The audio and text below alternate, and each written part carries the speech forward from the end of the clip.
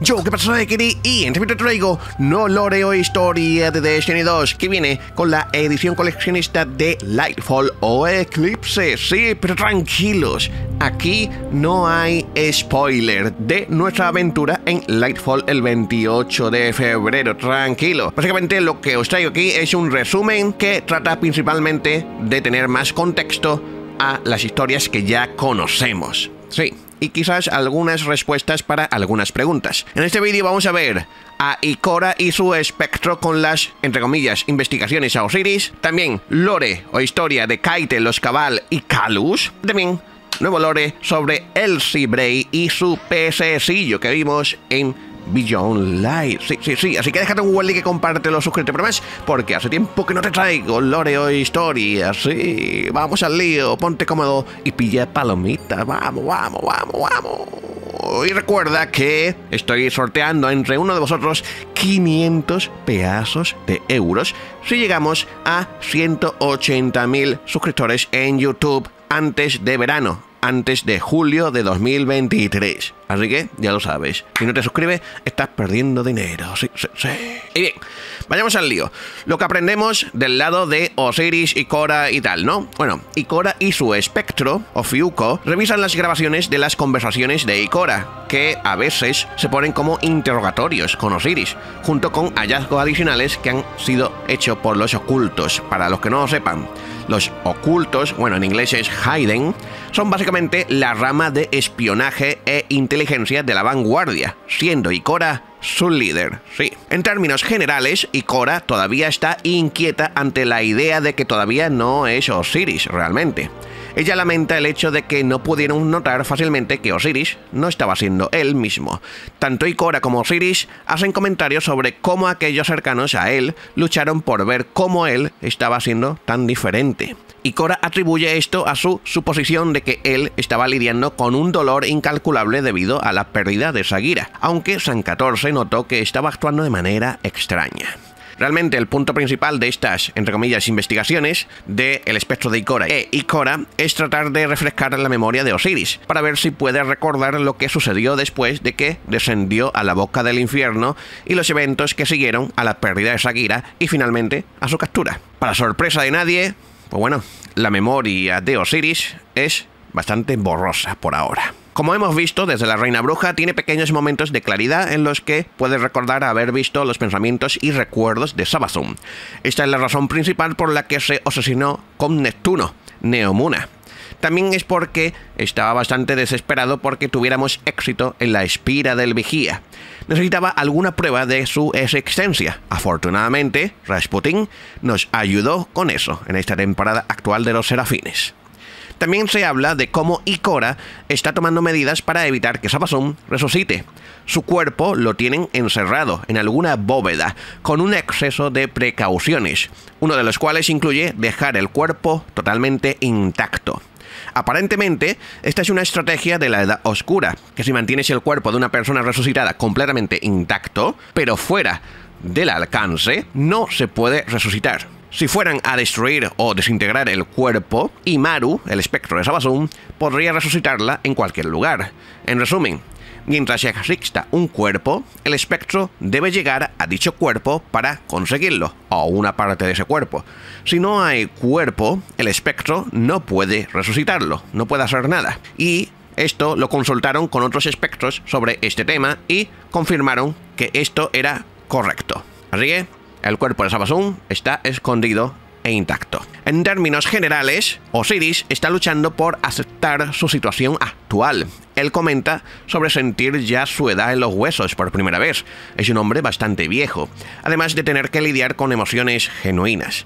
Ikora le da a Osiris los restos de Sagira, y esto lo conmueve. Vemos cómo Ikora no está acostumbrada a ver a Osiris abatido, lleno de dudas o en general con miedo. Ikora dice abiertamente que hay problemas para permitir que Osiris vuelva a trabajar en el campo de batalla, dejando a un lado los problemas de salud, aparentemente no puede superar el miedo y el posible arrepentimiento de confiar una vez más en Osiris para ser, pues, el mismo, ¿no? También se tiene en cuenta la opinión pública y cómo impactaría negativamente en la forma en la que la gente vería a la vanguardia si a Osiris se le permitiera volver a trabajar libremente por ahí. Teniendo en cuenta todo esto, Ikora básicamente decide que no pueden evitar que haga lo que quiere hacer y que se le debe permitir viajar libremente. Sin embargo, todavía no porque todavía necesita tiempo para recuperarse, que debería ser lo suficientemente largo como para que todas las demás preocupaciones se hayan calmado. Y también aprendemos que Sabazun está absolutamente aterrorizada por el testigo, al igual que nuestra querida Mara Sof. Sí. Así que ese es el resumen, bastante a grosso modo, sobre el libro de historia de El espectro de Ikora, Ikora y las investigaciones o interrogaciones a Osiris. Lo llaman como interrogaciones a veces, pero bueno, interrogación no es, ¿no? Pero bueno. Ahora vayamos por el libro de Keitel y los Cabal. Por ejemplo, los hombres cabal llevan niños, al igual que los caballitos de mar, pero no en el sentido de que ellos los gesten, sino que las hembras cabal los gestan y luego se los pasan a los hombres y salen de ellos cuando están listos para caminar. Es algo raro, pero sí, como si fuera un caballito de mar, aunque no 100% igual, ¿no? Pero para que lo entiendas, básicamente. También obtenemos una descripción muy detallada de los pezones de Calus, que son muy morados y muy grandes, no sé. Durante un desacuerdo con una mujer cabal, no la madre de Keitel, Kalus elige básicamente abortar a los niños que estaba esperando. Este es un punto conflictivo más adelante en la mente de Keitel. Keitel recibió su nombre de un sol cabal. Lo más probable es que los cabal hayan estado luchando contra la colmena durante mucho más tiempo de lo que podríamos haber pensado anteriormente. Esto surge cuando aprendemos los orígenes reales detrás del nombre Keitel. Keitel recibió su nombre de un sol cabal, sí, pero un general pero un general de Keitel se encuentra en una fiesta de bienvenida en Torobal, capital cabal, y le dice que su nombre contiene la palabra de la colmena Ayat, que básicamente significa que así se hará o similar a Amén. Lo que significa que el sol que le dio nombre a Keitel recibió su nombre de la colmena. Es como nosotros actualmente, ¿no? Que podemos nombrar a nuestros planetas, pues que reciben nombres del pasado, ¿no? Así que Keitel, ese Aitel, es de la colmena. También hay otros nombres inspirados en colmena entre los cabal, como Umun Araz, persona que eventualmente haría el ritual para llevar a Chibu Araz a Torobal. La sección Aras, pues básicamente es un obsequio como Shibu Araz. Kalush ha estado en posesión de un hueso de Ahankara durante mucho tiempo. Esto, como era de esperar, lo ha corrompido. También nos enteramos de que ha pedido muchos deseos usando este hueso, uno de los cuales era tener a alguien que lo amara de verdad, una hija, siendo Kaitel. Intenta jugar con su deseo como emperador de traer alegría a los cabals, se despotrica cuando los generales lo confrontan cuando está borracho y se está divirtiendo, cuando le piden que haga algo para conmemorar a las legiones fuera de casa. Ha roto con las viejas costumbres, los viejos rituales del antiguo imperio para abrazar un sentimiento de amor, alegría y en general glotonería. Como probablemente puedas conectar los puntos en este punto, pues todo esto está motivado por los deseos que ha hecho con el hueso Ahankara. A medida que Keitel crecía, se sintió descontenta con la forma en que Kalus dirigía el imperio, lo que resultó en los eventos del golpe de medianoche, complot para derrocar a Kalus a través de ella, Goul y varias otras acciones. Sin embargo, hubo un momento en el tiempo, antes de que todo esto sucediera, donde fue a Kalus para admitir todo, desmascarar el golpe y, y absolver de todo, pero en ese momento preguntó por su madre, de quien Kalus nunca le habló. Su madre, que se supo que había muerto durante la celebración de regreso a casa que Kalus celebró para ella, el general que le habló de su nombre también le habló de su madre. Durante esta conversación con Kalus, él le revela el hueso de Ahankara y cómo lo usó para derrocar al régimen anterior, y cómo ha pedido muchos deseos para formar su imperio y su vida. Keitel se da cuenta de que ha hecho todo esto para ser amado y que es un hombre débil porque nunca pensó que para ser amado debe esforzarse por ser admirado, al igual que ella.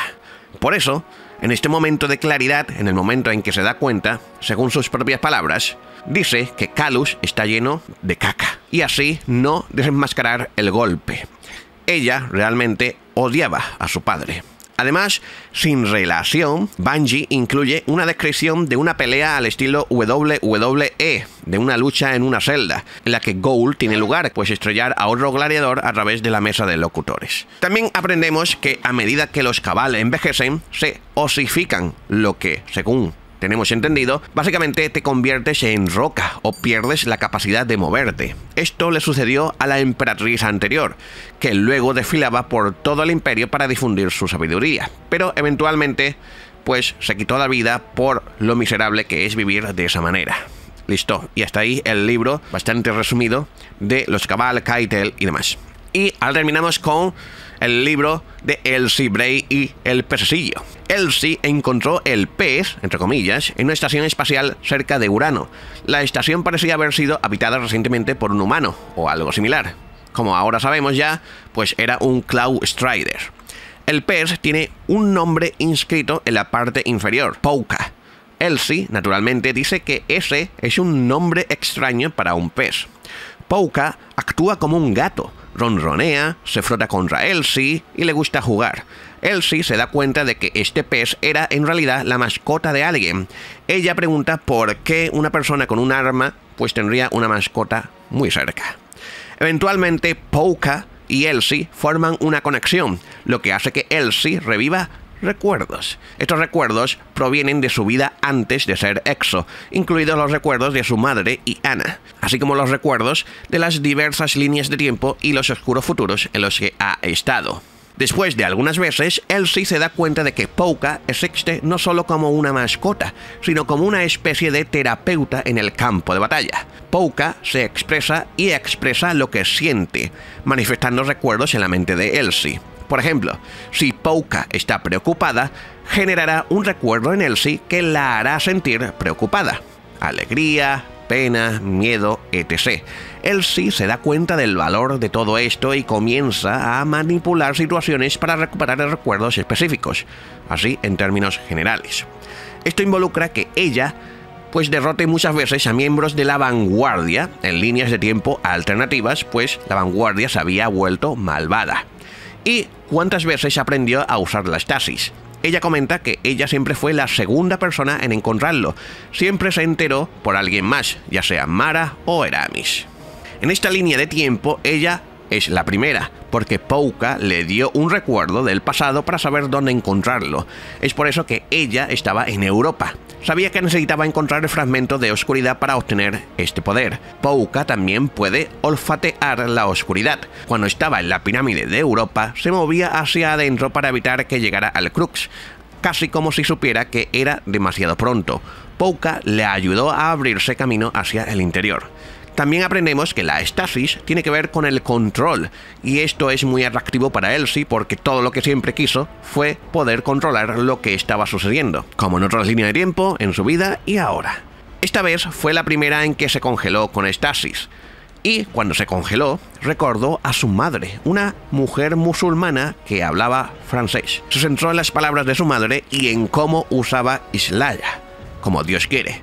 A través de esto, ella encuentra el control, se estabiliza y se libera de la estasis, al igual que hicimos nosotros en Beyond Light. Ella entiende que si puede enseñar cómo controlar la estasis a otros, eventualmente alguien encontrará la manera de no usarlo como un arma maliciosamente, sino de ayudar a otros. Estos seríamos nosotros, ya que por ahora podemos controlar tanto la luz como la oscuridad.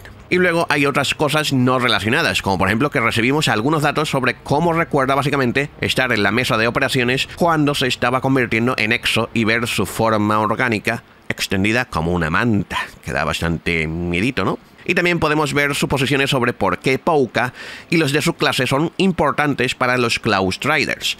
Lo más probable es que pierdan la memoria al igual que nosotros, los guardianes, cuando nos resucitan, y usen a estos peces entre comillas, peces, como Pouka para recordar quiénes eran, sus objetivos, lo que aprendieron, por quién están luchando y posiblemente transmitir información y lecciones.